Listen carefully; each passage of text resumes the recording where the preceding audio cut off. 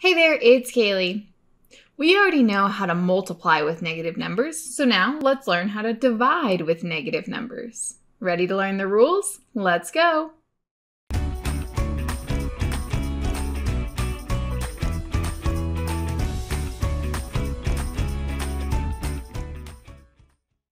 So let's start with what we know, dividing with two positive numbers. Let's say we have 4 divided by 2. We know that is equal to 2. But how do we know this? Well, we could think of 4 divided by 2 as a fraction, right?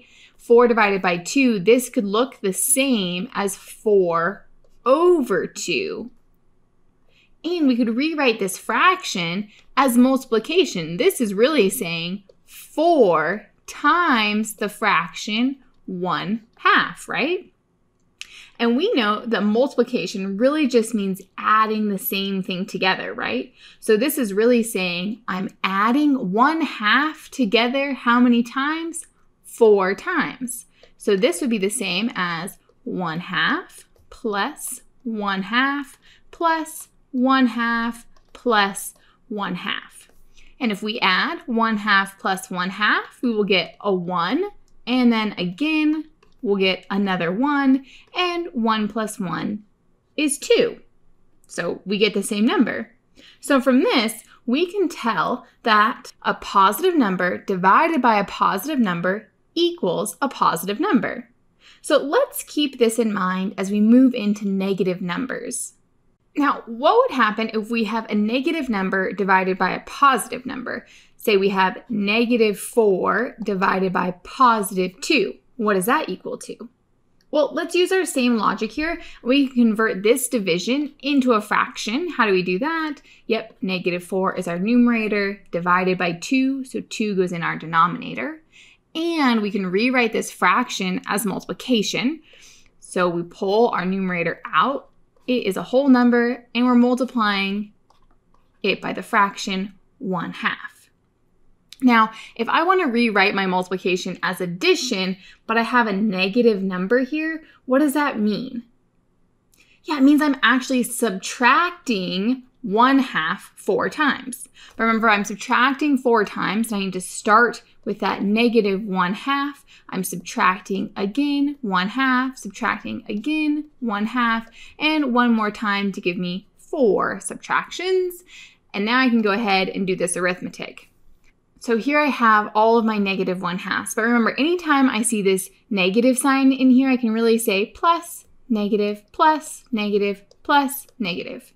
So now I have negative 1 half plus negative 1 half. That gives me, yeah, negative 1 plus negative 1 half plus negative 1 half. That's another negative 1. And negative 1 plus negative 1, that will give me negative 2. So here, this is showing me that I'm getting a negative answer when I divide a negative number by a positive number. And this is our rule. Whenever we divide a negative number by a positive number, we will get a negative number.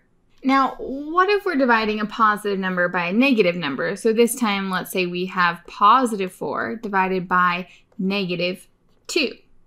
So let's first rewrite this as our fraction. We have 4 divided by negative 2. And if I want to rewrite this as multiplication, I'm going to have 4 times the fraction negative 1 half. So now what am I really doing if I'm multiplying 4 by a negative 1 half? Yeah, I'm going to add negative 1 half together four times.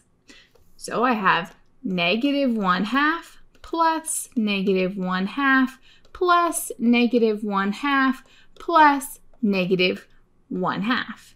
Now, this is the same arithmetic that we just did in the last one when we had a negative 4 divided by a positive 2. We end up with this same negative 1 half being added together four times. So if you remember, we had a negative 1 plus a negative 1 from adding together these negative halves, and that gave us negative 2.